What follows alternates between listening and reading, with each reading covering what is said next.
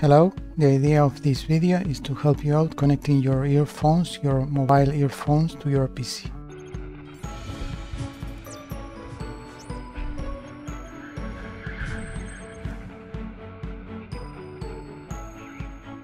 Now let's talk a bit about the adapters. You have noticed that your earphone has only one jack.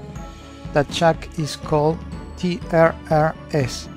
It's a 3.5 TRRS jack and the computer and uses two inputs that are called 3.5 TRS.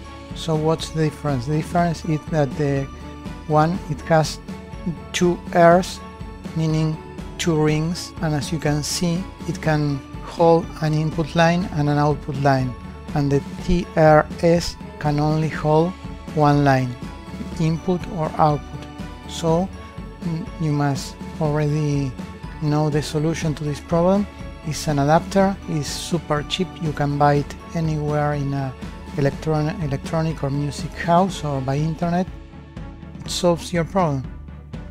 You connect your 3.5 TRRS to that adapter that is called a splitter and you will have two outputs TRS that you must connect to your computer and that's all.